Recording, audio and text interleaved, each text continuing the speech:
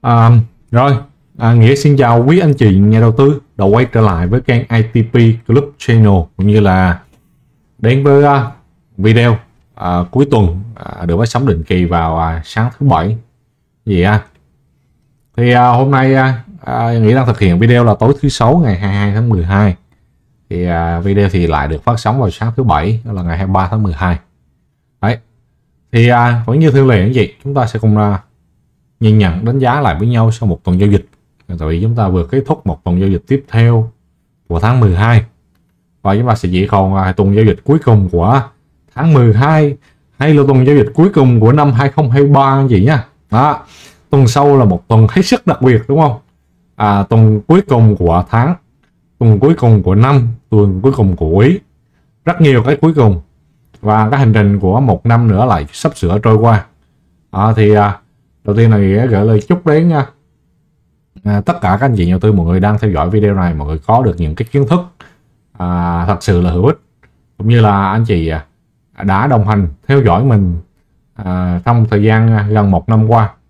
Thì à, rất là cảm ơn anh chị đã dành những cái sự tin tưởng yêu thương à, và giúp những nội dung của nghĩa chia sẻ được lan tỏa nhiều hơn trên À, cộng đồng YouTube này. Ok cả nhà thì à, cái video ngày hôm nay à, à, nghĩa có để anh chị à, đó là cái câu chuyện của Caric cái cớ cho điều chỉnh. Và chúng ta sẽ à, mình đưa cái camera lên ha. Rồi đây nói rõ. Caric cái cớ của việc điều chỉnh. Và hành động chúng ta là sẽ gom hàng à, thì thumbnail ngày hôm nay à, sặc sỡ hừng tí à, cảm xúc hừng tí tại vì uh, ngày hôm nay là ngày 23 ngày Noel rồi. Đúng không vậy à, theo uh, lịch Noel là cái uh, 24 25 tuy nhiên thì uh, tối ngày 23 vậy thì uh, đó sẽ là thời điểm mà uh, các uh, nước phương Tây người ta sẽ trao những món quà uh, gửi tất cả những người yêu thương vào đêm 23 đó sau đó thì ngày 24 người ta chỉ việc là quay quần và vui vẻ với nhau. Cái đây thì cái video này cũng xem như là một món quà à, gửi đến tất cả các anh chị nhau tôi một cái mùa Giáng sinh à, an lành. À, và chúng ta sẽ có thể bước cùng với nhau cho tuần giao dịch cuối năm 2023 một cách hiệu quả nhất. Anh chị nhé. Ok đi vào à, nội dung video thôi anh chị ha. À, à, thì à, trước tiên anh chị à, là à, chúng ta vừa khép lại một tuần cho nên chúng ta sẽ nhìn về cái vận động của một tuần. À, thì tuần này à, nhìn sang à, thế giới một tí. Chúng ta thấy là thế giới ở tuần vừa rồi à, nói uh, chung cũng như là thị trường chứng khoán Mỹ nói riêng cái thị trường to nhất thế giới. Đó. Là thấy các chỉ số như là Dow Jones, Nasdaq, S&P 500 thì đều có một tuần à, tăng bứt phá và thậm chí là thiết lập những cái đỉnh lịch sử mới. À, thì à, trong à, phiên cuối tuần à, cái sự vận động à, hiện tại của Dow Jones thì, thì à, chúng ta thấy là có vẻ như còn một phiên nữa Dow Jones sẽ kết thúc thì đây cũng là cái phiên giao dịch cuối cùng của các thị trường chứng khoán ở bên Mỹ để người ta bước vào cái kỳ Noel. Thì chúng ta có thể thấy được là cái giai đoạn này có sẽ cố gắng lên với vùng đỉnh. Nhưng mà nhìn cái quán tính thì sớm muộn gì cái nhịp chỉnh nó cũng sẽ điều chỉnh ra. À, thì chứng khoán à, thế giới à, nói riêng hay là chỉ, chỉ số chứng khoán Mỹ nói chung thì ở giai đoạn này đang là một cái giai đoạn tăng. Tuy nhiên thì thị trường chứng khoán chúng ta thì không à, thuận lợi như vậy. Nhưng mà sắp sửa anh chị sắp sửa thì có thể nó sẽ là đảo nghịch lại. Ví dụ như chứng khoán Mỹ giảm. Đôi khi chúng ta lại đi ngược lối chúng ta sẽ có một cái nhịp tăng. À, có thể là đâu đó sâu tiết anh chị ha. Rồi. À, à nhìn về cái kết quả của tuần kết quả của tuần anh chị nha. Thì à, tạm thời chúng ta đang có phiên giao dịch ngày hôm nay. À, cũng là cái tuần đó thì đang là 1103.06 tăng nhẹ 0,63 điểm.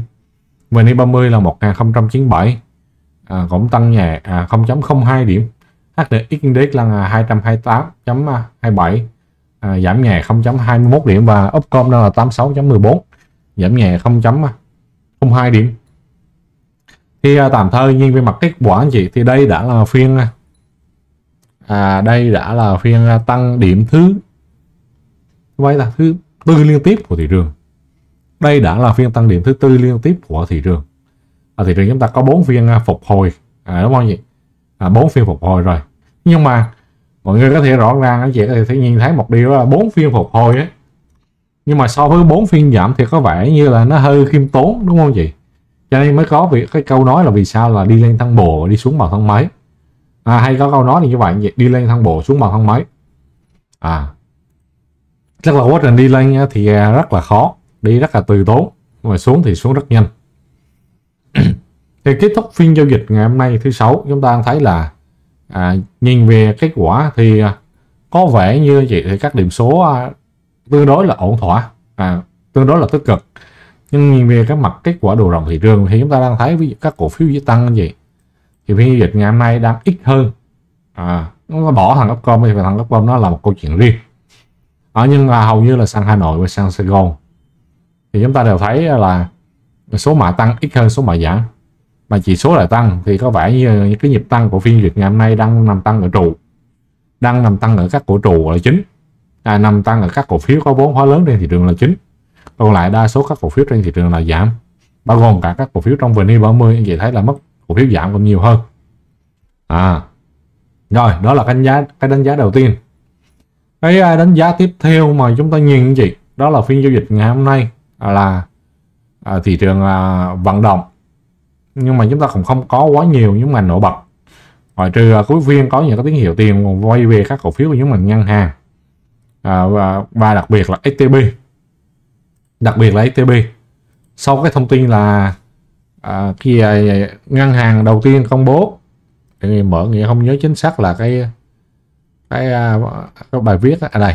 Ngân hàng đầu tiên công bố hoàn thành cái hạch lợi nhuận năm tăng 50% à, so với trước đó là Sacombank STB cái thông tin này à, được à, chia sẻ ở buổi trưa ngày hôm nay. Và sau khi kết thúc phiên dịch buổi sáng thì cổ phiếu bước sang phiên chiều một cái là ngay lập tức tích cực ngay và cổ phiếu được quay trở lại tăng. Thì cái việc của STB tăng thì nó tạo cái hiệu ứng cho các cổ phiếu của nhóm ngành ngân hàng cũng phục hồi. À, lần lượt chúng ta thấy là các cổ phiếu như là BIC cũng uh, tăng và BIC đóng cửa thậm chí tăng uh, nhiều nhất cuối phiên luôn. Anh chị nhìn á mọi người nhìn cái khớp lệnh anh chị sẽ thấy cái này, nó chi tiết quá cho nên nó lướt nó lâu vậy đó, mọi người nhìn. Các cái khớp lệnh vậy, các cái khớp lệnh anh chị thấy là đâu đó buổi trưa này tăng nhẹ nhàng thôi. Vậy theo mà à 0.2 điểm, tức là quanh thâm chiếu thôi. Nhưng mà sau khi có cái hiệu ứng của XTB bắt đầu, cái phiên là nó kéo thẳng lên tới 0.65 tức là nó tăng dồn tăng dồn tăng dồn, vậy không? Đó thời điểm gần 2 giờ. Rồi, các cổ phiếu của nhóm mình ngân hàng khác cũng quay xe, như là Vietcom Vietcom đã là phiên thứ tư rút chân đó, thì ngày hôm qua mình có nói đùa đúng không? Mình có nói anh chí biết đâu được công việc con lại tiếp tục một phiên là buổi sáng lại đề chỉ số. Cái sau đó buổi chiều lại rút chân nhưng mà thật sự là đúng là như vậy luôn. Rồi VFB cũng như vậy. Đó, ông này cũng y như vậy. Cũng làm quả rút chân thì ngoài cái các cổ phiếu rút chân ấy, thì cũng ghi nhận cái dòng tiền nó cũng có đẩy sang các cổ phiếu của nhóm ngành khác. Ví dụ như là à, nhưng mà cổ phiếu ngân hàng khác như là MBB à, có thời điểm này MBB cũng kéo tăng lên tới 14.35 cũng nằm ở phiên chiều thôi anh chị. Nằm ở phiên chiều thôi chứ không có nằm ở đâu cả 14 18.5 à, nằm ở phiên chiều mình nhớ. Hồi nếu mình có xem cổ phiếu MBB cũng đẩy ra khá là cao có thời điểm mình tới này 18.4 này 18.4 này. Vậy yeah. đó. Nhiều nhiều có thời điểm đại đẩy cao tới 18.5 luôn. Ở trong phiên chiều thôi à, đó. Thì các cổ phiếu của nhóm ngành ngân hàng nó có cái hiệu ứng lan tỏa thì sau khi ngân hàng lan tỏa cái thì bắt đầu là gì anh chị? Các nhóm ngành khác là bị siêu đi. Thì à, đặc biệt cái phiên ngày hôm nay chúng ta cũng có rất nhiều cái sự chú ý ở nhóm ngành chứng khoán. À, à không phải là cái câu chuyện của KRX nữa mà là cái hiệu ứng của những cổ phiếu chứng khoán ở buổi sáng. Chị thấy là buổi sáng là các cổ phiếu đều duy trì sắc xanh xanh rất mạnh. À, khi mà cổ phiếu XXI tối ngày hôm qua đúng không gì cổ phiếu XXI tối ngày hôm qua có cái hiệu ứng à, tăng à, cổ phiếu XXI tối ngày hôm qua có cái hiệu ứng tăng. À, có cái hiệu ứng các thông tin đó là à, được à, duyệt chấp nhận phát hành thêm và trả cổ tức. Đó thì cái việc đó tạo ra cái hiệu ứng cho thị trường à, đã vậy thì à, trong cái sau khi nhận định cái phần à, bản tin à, thị trường à, nghĩa viết cho khách hàng á, thì nghĩa có nhắc lại cái ý này 8 giờ 42 sáng này. XXI là công ty thứ hai được chấp thuận việc phát hành thêm vốn điều lệ. Thì với tin tức ra trong tối hôm qua có thể hiệu ứng này tăng điểm cho XXI hôm nay giống như HCM vừa rồi. Và tin tức này là điều quan trọng giúp cho nhóm chứng. Đó thì chúng ta thấy là cái đánh giá của mình tối ngày hôm qua nghiệp đã nói với anh chị. Thì nhóm chứng nó tăng. Nhóm chứng nó tăng. Đó, thì mình cũng kỳ vọng là ngày hôm nay nhóm chứng có một phiên tăng điểm mạnh như vậy tăng điểm mạnh tăng lên nào đó khoảng 2 đến 3 phần trăm là mình mang hàng rồi mình cho. Cái hàng chốt. Mình sẽ chốt được cái giá hời đó mình sẽ giấu được cái giá hời tuy nhiên thì nhóm chứng buổi sáng có mỗi XXI tăng hơn 1 phần trăm gần 2 phần trăm. Còn lại các cổ phiếu của nhóm chứng khác thì đều uh, mức tăng khá khiêm tốn. Thì một lần nữa nó lặp lại cái mô tiếp nó giống như cái phiên giao dịch của HCM giống như cái phiên giao dịch của HCM cũng là một cái sự vận động à, chậm cũng là một cái sự vận động. À, chỉ riêng HCM không gây được cái hiệu ứng quá nhiều ở các cổ phiếu khác không gây được quá nhiều hiệu ứng ở các nhóm ngành khác. Đó và chúng ta thấy là cái điều đó nó làm cho cái nhịp tăng của thị trường nó không được sôi động. Nó chỉ diễn ra dễ vỏn vẹn trong một vài phút đầu tiên. Sau đó thị trường bắt đầu siêu dần. Thì tối ngày hôm qua người có nói với anh chị về cái kịch bản của thị trường. Người nói rất kỹ đúng không? Là tối thứ năm người nói rất kỹ. Người kêu là thị trường chúng ta sẽ từ mà có hiệu ứng tăng đến 10 giờ. À, sau 10 giờ thị trường sẽ bắt đầu à, liềm đi hạ nhiệt đi.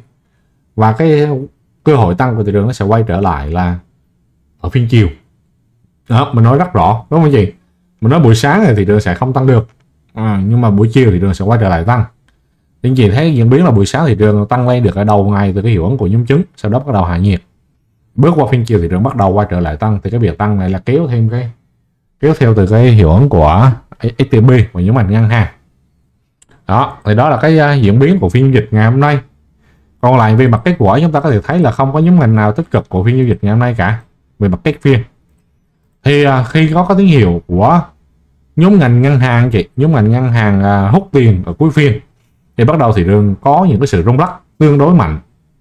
Anh nhìn thấy là so với lại ba phiên vừa rồi thì phiên ngày cuối tuần phiên thứ sáu có một cái sự rung lắc tương đối mạnh. Và các cổ phiếu thì à, dần liềm đi à, đặc biệt là nhóm chấn mất đi cái sức tăng. Thì anh chị tối ngày hôm qua anh chị anh chị nào mọi người theo dõi mình thì chiều hôm qua người có chia sẻ một cái video về câu chuyện là Caric thông tin này cần chú ý trong buổi tối ngày hôm qua người cũng để cái thumbnail livestream, đó là đáo hàng tốt, cẩn trọng một điều. Thì mình đã phân tích rất kỹ về cái câu chuyện của Caric gần như nó sẽ không thể go live vào ngày 25 tháng 12 tức là ngày thứ hai sắp tới. Mình đã nói cái ý đó. Cho nên à, cái kiểu gì như vậy thì khi sẽ có cái thông tin là phía bên ủy ban sẽ công bố cái văn bản, hoặc là trong cuối tuần này, thứ bảy, chủ nhật gì đấy, chậm nhất là thứ hai, sẽ công bố văn bản là giờ lịch go live của Caric thì cái câu chuyện đó nó không phải là cái câu chuyện lớn. Nha, tại vì Caric sớm muộn gì nó cũng sẽ áp dụng. Và theo thông tin mà nghĩa là chia sẻ như vậy à, nghĩa đã nắm được và chia sẻ với cả nhà thì gần như tới thời điểm hiện tại thì cái tỷ lệ mà test thành công của các công ty chứng khoán là rất lớn rồi. Phát sinh là gần như 100% còn cơ sở là còn một vài công ty thành viên là chưa test 100% thôi. Cho nên à, cái tỷ lệ rất cao nó sẽ giờ đó là giờ sang tháng 1 năm 2024 đó. Thì sớm muộn gì nó cũng sẽ go live. Nhưng cái vấn đề cái thời hạn ngày 25 tháng 12 ấy, chúng ta đã biết là nó sẽ không chúng ta đã biết là nó sẽ không thể go live. Nhưng khi cái thông tin mà nó ra gì thì nhà đầu tư người ta sẽ phản ứng về cái việc đó. Nhà đầu tư người ta sẽ phản ứng về việc đó. Và cái điều đó nó sẽ có thể chuyển biến theo một cái tâm lý là không được tích cực mà người ta mang hàng đó là ta bán. Nó bán giống như cái phiên ngày 7 tháng 12 á. Bán giống cái phiên ngày 7 tháng 12 cái phiên này. À, bán giống cái phiên này. Thì cổ phiếu chấn cũng như là thị trường sẽ có những cái sự rung lắc cũng như sự điều chỉnh. Sẽ có cái sự rung lắc và sự điều chỉnh. Thì à, đó là lý do vì sao tối ngày hôm qua chiều ngày hôm qua ngay lập tức mình cảnh báo sớm với cả nhà mình, mình chia sẻ cái nhận định này. Mình nói gì là thị trường thứ hai tuần sau nó có một cái rủi ro đó cho nên phiên gian ngày hôm nay chị à, tuyệt đối là không nên mua. À như vậy chị canh bán. Tuyệt đối gì không bán là bán hà tỷ trọng chứ không phải bán hết như chị nhé, đoàn này bán hết thì cũng mệt. Chỉ canh hà tỷ đồng, à, mình nói rất rõ cái ý này. Ngày hôm nay không mua. Chỉ phù hợp là tay không. Và kế hoạch đó mình cũng đi nói y cho khách hàng mình áp dụng. Y cho khách hàng không có gì thay đổi cả. Có gì là nghĩ chia sẻ y như vậy. Anh chị nghĩ chia sẻ với anh chị như tôi như thế nào mình, mình chia sẻ y là như vậy đó à, đó là cái điều mình chia sẻ. Thì anh chị thấy là cuối phiên giờ hôm nay anh chị tiền nó dồn về những ngành ngân hàng. Thì nó sẽ có hai cái luồng suy nghĩ. Một đó là tiền quay về ngân hàng tức là kéo trụ để xả hàng. Có sẽ có những anh chị nhà tôi suy nghĩ như vậy. Nhưng mà mình không đánh giá là như vậy tại vì các thanh khoản thị trường đồ này nó yếu quá. Thanh khoản thị trường mấy phiên vừa rồi cứ mười, à, mười mấy ngàn mười mấy ngàn lẹt đẹt lẹt đẹt dưới 15 ngàn tỷ thanh khoản rất thấp. Cho nên không có chuyện là xả hàng ở đây. À, mà chỉ là cái sức khỏe của nhóm ngành nó không tốt. Và chúng ta hay có một câu nói gì đó là đi ngang quá lâu không tăng được thì phải giảm. Cho nên mình có thể đánh giá cái tỷ lệ rất cao chị. Cái phiên thứ hai đầu tuần sau thị trường sẽ có một cái sự rung lắc, một cái sự điều chỉnh. Và cái cú điều chỉnh đó là xuất phát từ cái lực bán của nhóm ngành chứng khoán. Và cuối ngày hôm nay, anh chị thấy đó là cũng có những cái lực bán nó đã xuất hiện ra khi mà cổ phiếu không thể tăng. Thì ngày hôm nay mình cũng kỳ vọng là cổ phiếu có thể tăng để mình cho cổ khách hàng chốt lời à, khá khá một tí. Nhưng mà không tăng được thì cuối ngày mình còn phải đưa kế hoạch là mình báo hạ tỷ trọng đó anh chị. Đó, ngày hôm nay nghĩ nói cái kế hoạch này anh chị. Mình nói rất rõ buổi sáng này. Anh chị trong mình thấy kế hoạch hôm nay nó hôm nay chỉ bán chốt lại hay tăng không mua mới kể cả tỷ cộng anh chị có sẵn hàng hoàn toàn vẫn có thể lướt thì không phải biên bộ biên độ ngày hôm nay sẽ rộng hơn hôm qua. Đó thì mình cũng đánh giá về câu chuyện của Caric rồi. À, cũng nói với chia sẻ với cả nhà rồi. Ngày ngày đó tối livestream sao người nói y như vậy. Thì thông thông tin là ngày 25 tháng 12 tuy nhiên dự kiện là sẽ giờ sang. Tại vì chúng ta có thể thấy được là nhóm chứng khoán gì nó vẫn chưa có sóng thần. Từ sau có đợt sóng cùng với thị trường ở giai đoạn giữa năm. Thì nếu như mà có caric là chứng nó bắt đầu rồi. Và caric là sự kiện lớn nói chung của thị trường chứ không cho nên chắc chắn nó sẽ go live. À, à, theo thông tin thì caric sẽ giờ sang sớm là tháng 1 2024 việc này nghĩa có chia sẻ nhiều lần rồi caric không đơn thuần là một hệ thống tải. Đây là câu chuyện rất nhiều bên liên quan, bao gồm hệ thống thanh toán liên ngân hàng. Đó, cho nên kế hoạch dự kiến sau đây sắp tới caric sẽ chạy song song. Nó nó đi là như vậy. Cho nên thị trường chúng ta sẽ có một phiên điều chỉnh sau. Thì đánh giá về khả năng điều chỉnh lớn không? Thì mình cũng có đánh giá anh chị, đó là khả năng này không lớn khi giai đoạn hiện tại thị trường giao dịch rất chậm. Khi ngày hôm nay chị, thật ra mọi người thấy có thời điểm mà thị trường rung này cổ phiếu chứng mình giảm đâu đó hơn một phần trăm là mình thấy ngay lập tức có cầu vào bắt, có cầu vào bắt cái rụp. Đó, cho nên đánh giá giảm nhiều không là không nhiều. Cái này là đánh giá buổi sáng mình nói lại anh chị nên nếu có phản ứng thì thông tin cà rí chắc là chỉ có một phiên là điều chỉnh rung rủ biên độ khoảng 2 đến 3 phần trăm. Chứ giảm sâu nữa thì mình không thấy. Là thị trường chúng ta sẽ có một phiên retest trở lại biên dưới để tạo cái đáy thứ hai ngắn hạn đi lên vùng 1130 nếu có một phiên điều chỉnh, đây là cơ hội mua cổ phiếu và sẽ trở lại, thậm chí là mua phun hàng trở lại chứ không phải rủi ro xấu. Và việc muốn mua là phải cần tiền để chủ động giao dịch. Đó. nói rất kỹ anh chị nói rất kỹ. Đó. Thì mình cũng có nói một ý, đó là ý này thì thấp thôi. Đó là trường hợp tích cực nhất là thứ hai thì đừng không phản ứng với câu chuyện của Garic nhưng cũng sẽ chưa thể tăng ngay khi dòng tiền suy yếu là yếu tố cản bước thị trường. Do đó hôm nay việc chốt hạ tỷ trọng có thể yên tâm sẽ không bị mất hàng lỡ tàu hạ tỷ trọng không bán hết cổ phiếu. Đây là phương án phân bổ tỷ trọng hiện tại. À, mình chia sẻ rất kỹ. À, mình chia sẻ rất kỹ như vậy.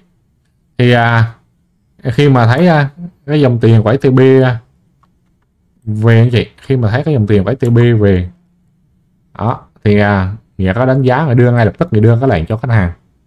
Buổi chiều á mình thấy là thì tiền đang về giống ngành ngân hàng có sự tích cực. Với TB các cổ phiếu như Vietcom, VPB còn rút chân MBB cộng đẩy nhưng mà nếu hôm nay mà cổ phiếu tăng mạnh thì chúng ta mới có phụ phiên chốt bỏ túi. Còn à, tăng nhẹ như thế này thì không thì chốt hạ. Đó. Cái chỉ điểm chốt hạ nó chỉ là cái sự chủ động của các cổ phiếu T không thôi. Tuy nhiên thị trường kéo điểm từ banh các cổ phiếu bắt đầu liệm dần. Cho nên chúng ta cũng phải hạ tỷ trọng chứ không thì chốt. Cái giá tốt nhất là khoảng 1 phần 3 đến 1 phần 2 tránh cái rủi ro của phiên thứ hai.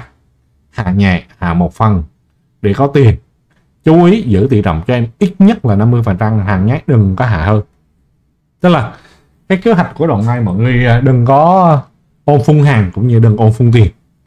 À, ôm phun hàng đoạn này anh chị cũng sẽ hơi hơi uh, gọi là hơi uh, mạnh dạng tí. Còn uh, ôm phun tiền thì chắc chắn anh chị sẽ bị động mà anh chị có một phần hàng một phần tiền chúng ta chủ động hơn. Đó thì đó là toàn bộ kế hoạch mà mình đưa ra phiên ngày hôm nay hành động như thế nào à, buổi chiều thấy tiền vào STB cái ngân hàng lên cái là mình cho bán. Chấp nhận bán mặc dù giá không được hơn nhưng mà bán hạ tỷ đồng. À, bán hạ tỷ đồng lại đợi luôn. Thì rõ ràng cái cái nhịp này chắc chắn có thể sẽ chênh lệch hơn chị. À, chênh lệch hơn. Thì phiên ngày hôm nay chị thấy là gì tổ chức uh, trong nước người ta mua rồng này tự danh là bán rồng này cá nhân tiếp tục mua rồng này ở nước ngoài bán rồng này. Thì thấy cá nhân người ta đỡ 711 tỷ không? Tức là cứ có lượt bán thì sẽ có lượt mua sẽ có lượt bán sẽ có lượt mua gì? Đó. Cho nên câu chuyện của thị trường mà để thị trường giảm mạnh hay là thị trường sập hay là gì đó thì mình không có đánh giá ở thời điểm này. Kiểu gì cũng sẽ có lực đỡ. Cho nên vì sao? Nhìn vào phiên ngày hôm nay chị thấy cái thời điểm mà thị trường nhúng xuống cái là có lực đỡ tham gia ngay. Có lực đỡ ngay luôn. Cho nên anh chị hoàn toàn yên tâm về thị trường. Chỉ qua là chúng ta đang à, tỷ trọng để chúng ta có thể chờ mua trở lại với cái giá hời hơn có thể chênh lệch khoảng 2 đến 3 phần trăm là đã một cái thành công vào thời điểm hiện tại rồi. Cái thời điểm này quý anh chị mọi người kiếm được nhuận được 3 phần trăm đến 5 phần trăm là nó ghê gớm. Đúng không chị? Rất khó rất khó nhai trong vòng tuần này. Rất khó nhai luôn. Cho nên mà bây giờ mà điểm mua nó thấp hơn 2 đến 3 phần trăm là đã là một thành công rồi. À, được chưa anh gì? à, cho nên mọi người có thể thấy đó là cái giai đoạn này dòng tiền nó đang cân. À, mình sẽ có một cái video clip mình phân tích à, về à, trong lịch sử cái giai đoạn năm 2020 2021 vậy cũng đã có một thời gian là nước ngoài bán rồng liên tục và cá nhân mua rồng liên tục. À, thì bây, bây giờ phiên giao dịch ngày hôm nay đã là phiên thứ 18 nước ngoài bán rồng liên tục. À, thì mình sẽ có một video mình phân tích đó hẹn anh chị vào đó đó ở tuần sau. À, mình sẽ có video đó. À, có thể là sẽ là cuối năm có thể sẽ là video cuối năm. À, chúng ta sẽ chia sẻ với nhau tổng kết lại thị trường rồi đánh giá về câu chuyện khối ngoại các thứ. Mình sẽ chia sẻ về cái ý đó. Ok anh chị ha. Cho nên nếu như chị đang xét thuần về mặt dòng chảy của thị trường anh chị, thì chúng ta thấy là thị trường đang yếu, đúng không? Thị trường không thể tăng. Cái sức tăng của thị trường không không bền được. Mà không tăng được thì có nghĩa là cái cơ hội à, chỉnh nó nhiều hơn. Và cái việc chỉnh của thị trường lúc này anh chị, nó nó lại hay hơn. Mình thấy chỉnh nó lại hay hơn. Để thị trường chúng ta có thể bền hơn đi và thị trường một lần nữa sẽ kiểm nhận lại các cái lượng cầu hàng. Lực mua ở bên dưới đỡ thị trường được hay không? Đó, đó là cái điều mà mình nói cái điều mà mình mà đã mà mình đánh giá. Đó là cái điều mà mình đánh giá là nó đang diễn ra. Ok. Rồi. Thì à, đi vào thị trường góc nhìn kỹ thuật anh chị nhé. Tại vì thị trường đã kết tuần rồi hôm nay chúng ta nhìn sang tuần tí. Thì chúng ta thấy tuần anh chị. Thì chúng ta thấy tuần. Thì à, tuần này thì đang cho chị một cái nến doji với một cái điểm rút chân dài. Thì rõ ràng đây là một cái sự tích cực. Cái tuần thì thị trường đang tăng là 0.76 điểm mức tăng là 0.06% như vậy là tuần này tuần vừa rồi tuần này rõ ràng là hai tuần biến động của thị trường. À, tuy nhiên thị trường à, tuần này là cầm nhịp được cầm nhịp được khi thị trường về những cái biên hỗ trợ bên dưới. Vùng có may rồi có hỗ trợ của Kijun bên dưới lại có dấu găm nói chung là hỗ trợ đoạn này khá dài. Cho nên chúng ta có quyền yên tâm về việc thị trường cũng không điều chỉnh sâu được. Đó. Vậy. Và nếu như nhìn về không tuần như vậy thì qua tuần sau qua tuần sau yeah, bước sang tuần sau thì thị trường chúng ta sẽ hết khách sạn hút giá lên. Chúng ta sẽ chỉ có khách sạn ở tuần này. À, qua tuần sau thị trường sẽ hết khách sạn hút giá lên. Đó mà chỉ là cái trạng thái tách kiếm chứ không phải là khách sạn do đó thì cái lực hút đi lên của thị trường anh chị ở tuần sau là ít. Thị trường là ít. Nhưng mà lực giảm thì cũng không có. Chủ yếu sẽ thị trường nó sẽ vận động dựa trên ý chí của tạo lập. Người ta muốn cái điều gì? Đó, người ta vận động như thế nào? À, tăng ra sao giảm ra sao? À, người ta đánh kiểu gì? Thì đó là ý chí điều phối về thị trường. Còn thị trường nó không còn là tăng giảm do cái lực hút của các trạng thái kỹ thuật à, là khách sạn hay là à, trend giảm gì cả. Chỉ là cái sự vận động tích lũy. Đó, cho nên thị trường à, tuần sau mà có rung lắc là chuyện bình thường. Ok anh chị ha nhưng mà nhiên vì cái vận động mai thì rõ ràng chúng ta thấy một cái nến rút chân rất dài. Nó thể hiện cho là cái lực cầu của tuần này khỏe. Chính cái lực cầu khỏe mới đẩy được cái chỉ số mới tạo ra được một cái nến rút chân dài như vậy. Cho nên chúng ta có thể thấy được là thị trường đang tốt. Thị trường đang tốt thị trường vẫn ổn chứ thị trường không hề xấu. Anh chị nha, chỉ là thị trường không tăng được, chứ không phải là thị trường xấu. Ok cả nhà, đó là cái điều mà mình nói lại nha, thị trường không tăng được chứ không phải là thị trường xấu. Rồi nhìn sang không à, đồ thị à, ngay. Thì chúng ta thấy là tuần này chúng ta có 5 cái nến, một cái nến giảm đầu tuần, và bốn cái nến à, tăng giá. Cái nến cuối tuần là tạo một cái cái nến doji. Thì anh chị thấy là cũng sau một cái nhịp thị trường điều chỉnh kiểu như thế này thì thị trường nó cũng mất có thể là ba phiên phục hồi một cái nến giảm. Rồi sau khi thị trường có một cái nến giảm thị trường cũng phải một hai ba bốn năm sáu phiên. Cũng có một cái phiên kiểu như thế này cũng là có phiên mà thị trường à, giảm trở lại. À, giảm trở lại để tạo cái đáy thứ hai tạo cái đáy thứ hai và kiểm tra lại cái lực cầu. Và sau đó thị trường mới chính thức đi lên biên trên. Thì bây giờ mình cũng thấy cái kiểu gì được như vậy tức là thị trường chúng ta ở nguyên cả một tuần này gì thấy là quá trình đi lên nhưng mà đi lên khá là yếu đi lên khá là yếu. Cái cách đi lên khá là yếu ớt à, và cái cửa tăng anh chị thì nó lại thấp khi bên trên có cản. Mọi người nhớ là người có nói với chị là nếu như hôm thứ sáu mà thị trường vượt được cái cản 1100 là 6.75 á thì mình làm tròn 107 á thị trường nó sẽ thoải mái hơn. Nhưng mà nếu như thị trường mà không vượt được cái mốc 1107 thì cái cái khả năng thứ hai thị trường sẽ có một cái phiên điều chỉnh. À, rồi sau đó thị trường mới bắt đầu là uh, quay trở lại tăng.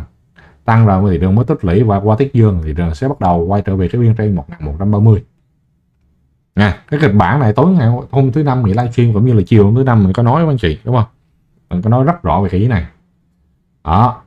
Thì chúng ta thấy là ba phiên thị trường phục hồi rồi anh chị nhưng mà thị trường không có cái nhịp điều chỉnh nào cả. Không có phiên điều chỉnh nào cả. Cho nên rất dễ rất dễ cùng với cái sự kiện của Caric cái tham minh của Carrick nó diễn ra nó ai cũng biết là nó không go live á. Nhưng mà chắc chắn cứ có thông tin ra là sẽ có phản ứng. Điều này là điều khẳng định luôn. Điều này là điều mình khẳng định luôn anh chị. Thì ngày hôm nay còn có còn có cái gì nữa? Có một cái văn bản của sở giao dịch nói là thời gian sẽ test thử là từ ngày 22 đến ngày 24 đó từ từ thứ sáu đến uh, chủ nhật. Và nội dung tiếp tục là kiểm thử các chức năng. Rồi báo cáo nếu có phát sinh sẽ báo cáo kiểm thử ở giai đoạn này. Cho host vào ngày 25 tháng 12 nếu như báo cáo vào ngày 25 tháng 12 mà theo thông minh là ngày 25 tháng 12 go live mà 25 còn báo cáo về việc test thử có nghĩa là gần như là kết quả là không tăng không go live vào 25 tháng 12 rồi. Cho nên kiểu gì trong cuối tuần này mình đoán là sẽ trong cuối tuần chứ không phải tới thứ năm thứ hai đâu. Dự đoán là xong trong cuối tuần thì sẽ có cái văn bản cũng như cái thông báo của sở uh, thông báo rằng sẽ lùi cái dịch lùi cái lịch go lai lại. Và chắc chắn gần như thì trường thứ hai cái tỷ lệ rất cao. Sẽ có một cái phiên điều chỉnh rung đủ à, quay trở lại. Có thể sẽ là một cái cây nén đặc như thế này. Và cái nhịp này mình đánh giá thị trường à, nếu giảm gì thị trường mà giảm với một cây nén à, nha dài thì nó là một cái điều tốt. Một điều tốt chứ không phải là điều xấu. Anh chị hoàn toàn có thể yên tâm về các câu chuyện này. Anh chị đừng có sợ ha một cái nến đổi dài nó là một cái điều tốt. Cái việc đó chị nó giải quyết đó là thị trường à, không tăng được thì thị trường nên giảm. Thì nó sẽ thoải mái hơn chứ, cứ gồng gánh gồng gánh để đi lên thì nó chẳng giải quyết được câu chuyện gì cả. Vấn đề thứ hai là tiền không không vào chị cứ đi lên như vậy thì tiền không giao dịch được. Mà như vậy cổ phiếu rất khó để ngồi lên. Thì cái yếu tố mà thị trường giảm bây giờ nó có giải quyết rất nhiều vấn đề. Cái vấn đề thứ nhất đó là nó thay máu được nhà đầu tư kiểu gì cũng sẽ có một bộ phận nhà đầu tư người ta hoãn, người ta bán ra vậy, bán xong rồi có những nhà cầm tiền người ta mua vào. Ví dụ như anh chị ở đây và như mình, và khách hàng của mình. Mình đưa kế hoạch rõ ràng thì cứ bám đấy, kiểu như vậy. Thay máu được. Cái việc thứ hai gì chúng ta có một câu nói đó là lùi một bước, trời cao biển rộng. Tiến một bước, vật sâu thâm thẳm. Đúng không? Mất chi giờ chúng ta cứ tới đường cục, chúng ta cứ bước tới làm gì vậy. Lùi lại, chúng ta chuyển hướng, chúng ta đi. Thì cái việc mà thị trường nó lùi lại một viên thì đánh giá nó là cái sự tích cực. Lùi lại như vậy vậy thì làm sao? Thì khi đó các cổ phiếu sẽ quay trở lại cái điểm cân bằng, quay trở lại các điểm hỗ trợ, tạo lại các điểm mua, thay máu được dòng tiền trên thị trường. Và giúp thị trường chúng ta xác nhận chắc chắn hơn. Cái biên hỗ trợ bên dưới là vòng 1088 đó anh chị cho nên à, à sau đó thị trường bắt đầu quay trở lại tăng thì đẹp. Và mọi người chú ý là từ hôm à, từ phiên thứ à, thứ thứ hai thứ hai là thị trường mà thứ hai là thị trường sẽ bắt đầu chưa thứ ba thị trường sẽ có khách sạn thứ hai sẽ có khách sạn thứ ba tuần tới thị trường sẽ có khách sạn. Đó. và có nghĩa là gì? Là từ thứ ba thị trường sẽ bắt đầu có lực hút giá lên trở lại à, và cái lực hút này sẽ là vùng 1107 à, cho nên à, thị trường chỉnh thứ hai sau đó bắt đầu từ thứ ba tăng trở lại trở lại trở lại. Và tích lũy là vượt luôn các thế khách sạn này sau Tết Dương là ngon. Đó là kịch bản đẹp nhất của thị trường để thị trường có thể đi lên một cách bền vững. Ok cả nhà ha. Đây là cái điều mà mình đang đánh giá. Đó được chưa anh chị ừ, rồi đi vào cái không đồ thị H1 ví dụ như à, nhỏ nhàng hơn không đồ thị bóng dương thì giờ thấy là bây giờ thị trường nếu như mà thuận lợi á, là phiên ngày hôm nay thị trường vượt luôn cái cản ở trên này thị trường giữ ở trên này. Không 4 giờ á, thị trường đóng cửa trên 1103 à, thị trường đóng cửa trên trên hẳn luôn 1103 1104 là thị trường có cái đám mây từ ở đây này nó tốt. Nó vậy. Nhưng mà cái không 4 giờ thị trường không đóng cửa dưới trên này. Thì thị trường sẽ có có thể tăng ở trong tuần sau. Mức tăng nó sẽ chậm mức tăng sẽ chậm. Để gì? Và thì đường muốn tăng cái gì? Thì phải chờ đến cái đoạn cuối cái vùng mây này vậy. Cái đoạn mây mỏng ở đây thì nó mới thoáng được. Phải sau tết dương kìa. Phải sau tết dương kìa. Còn bây giờ vậy là hành trình đi lên của thị trường nó sẽ tương đối là trong gai.